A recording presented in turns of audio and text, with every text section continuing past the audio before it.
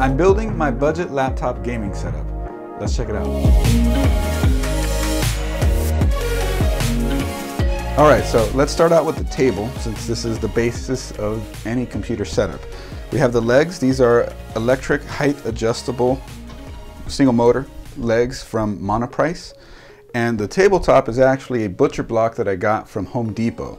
Now you can put any tabletop you want on these legs or you can just get the one from Monoprice, which I believe is only an additional 50 bucks. These legs are around 200 bucks. It's actually not that expensive for an electric sit stand, you know, height adjustable desk, so it works out pretty well. Another important thing when it comes to any setup is power.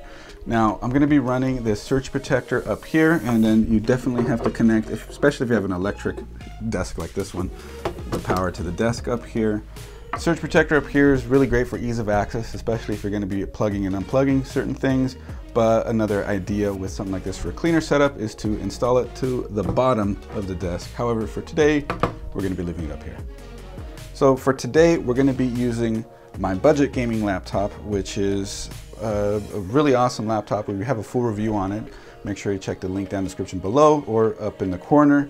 And uh, this is a gateway with an i5-10300H 4-core 8-thread CPU. I've upgraded it to 16 gigs of RAM and it has an RTX 2060. So a, a, a, point that I want to make with laptops in a full setup like this is like, especially right now with COVID hitting, college students out there, people that were abroad and people had to come home and now they're at home. They spent a lot of their money on a gaming laptop so they could game out on the go or when they're out and about.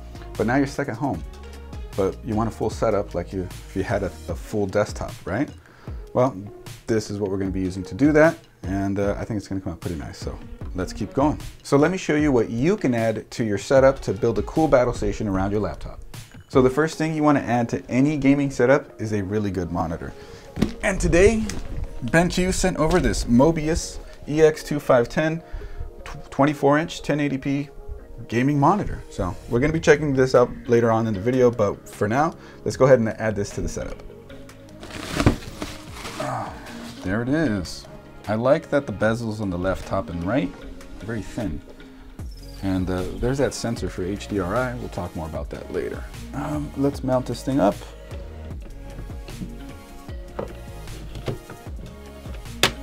Nice and easy. I like that. The stand is nice, feels strong. I like the height adjustability. That's gonna come in handy. Oh, there we go.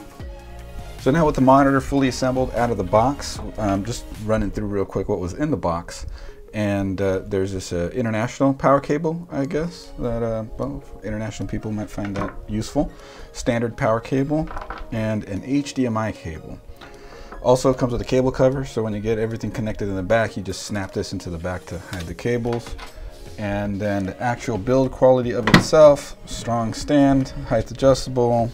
It's kind of plasticky and then you have this orange accent that you can't really change the color of but maybe we can remove it if orange isn't really your color. Other than that everything feels great you know. VESA mount on the back if you wanted to put it on an arm so that's definitely useful. And uh, well, there you go. But like I mentioned, which with the HDMI cable, we're gonna be connecting this to the laptop via DisplayPort so we can get the maximum refresh rate and performance out of it.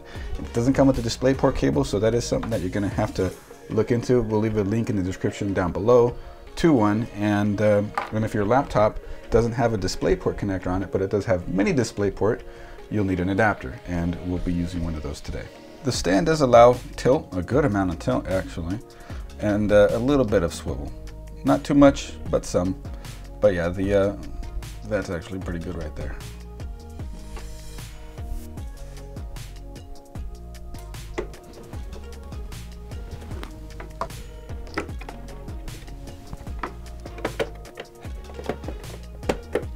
This is nice, especially for a full setup, that the monitor stand includes a sort of cable management passage. So, uh, I mean, definitely a plus there.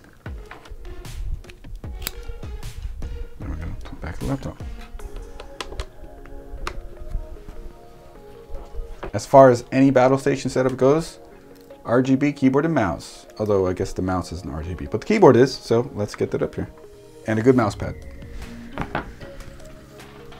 However, so this is a lot of things to connect with USB. We're going to be using a powered USB hub to also hook it all up and make things easier. Go through the hub and then one cable into the laptop. Super useful. The thing with laptops is you get a pretty limited connectivity on it.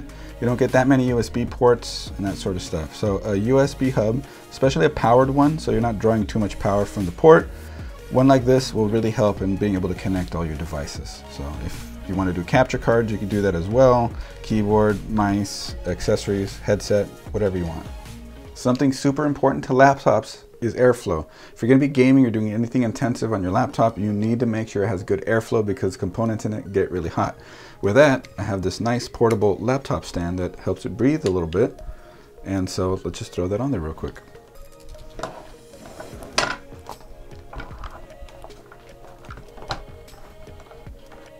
Now when it comes to any gaming setup, always pays to have a good microphone setup. So we have this Tonor TC777. We have a review on it, also link down in the description below or right above in the button. And we're gonna be mounting it on this arm. So let's go ahead and mount it up and position it.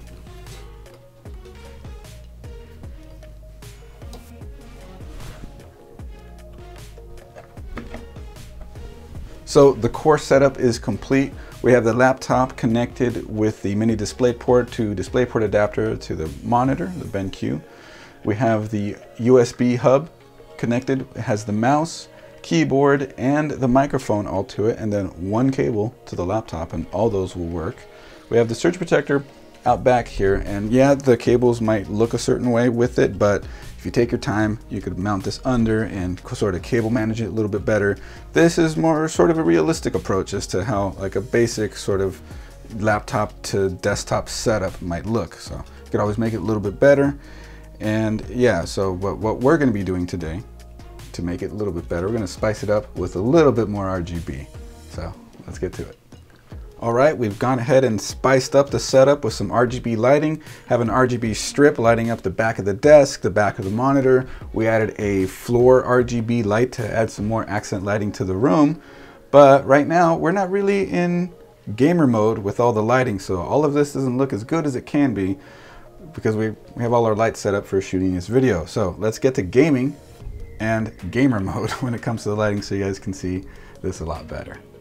The monitor featured in the setup, as mentioned, is the BenQ Mobiuz EX2510 1080p 144Hz IPS gaming monitor that supports FreeSync Premium. This is also available in 27 inch. This is a 1ms MPRT response time monitor, which means it'll be awesome for gaming. But you may be asking yourself what the difference between MPRT and the more known to gray response time measurements are. Long story short, Fast to gray doesn't always mean fast MPRT, and you want a faster MPRT for the best performance as well as a fast to gray. A nice feature this monitor has is something BenQ calls HDRI. This monitor does support HDR10 for better and deeper colors, but they have a sensor on the screen that will dynamically adjust brightness, contrast, and saturation based on the lighting conditions of your environment. This is nice because if you like gaming in the dark but sometimes need to turn the light on, the monitor will automatically adjust and you don't have to fool around with any complicated menus to tune it for your lighting situation. I'm here about to start this match in the Arc Complex in Doom Eternal and uh, we're gonna see how the speakers sound on this one. BenQ calls these Trevolo speakers and they're supposedly tuned and really good speakers for a monitor so let's see how it sounds through the microphone I've been talking to you guys with this whole time. Good news for the faithful. Did you see?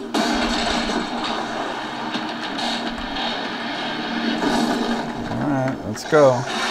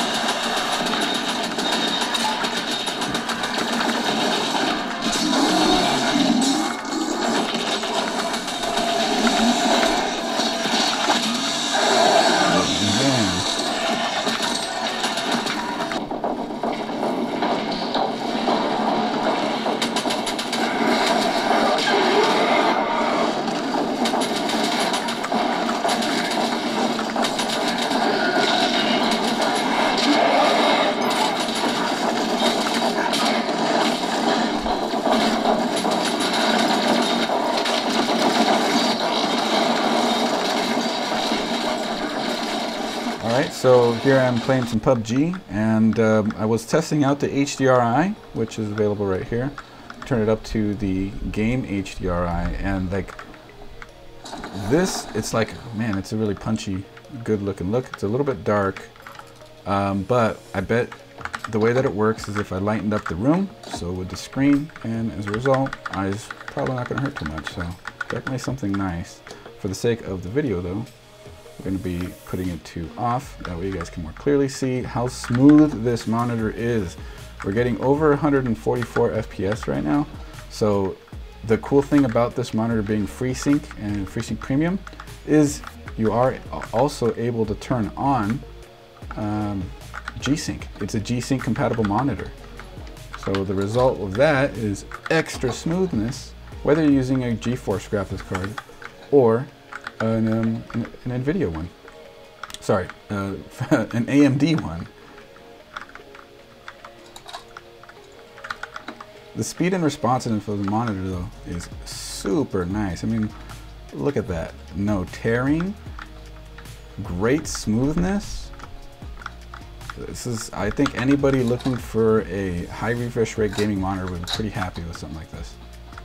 And I gotta say the audio is definitely something I didn't expect.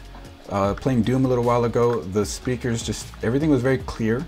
It did have bass as far as I can tell. Um, I was not expecting that kind of sound from monitor speakers, I'll give you that much.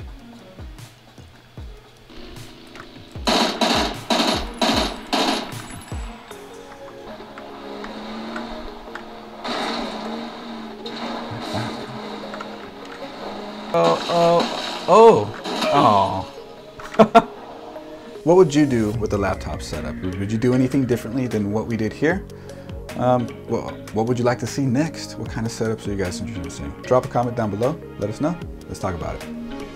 If you like this video, make sure you click that like button and that subscribe button. We do content like this every week, so you don't want to miss a single upload. Also, I stream to Twitch, so links down in the description below. We have other helpful and interesting PC related videos. Check out one of these. Think you might like it. I'll see you over there.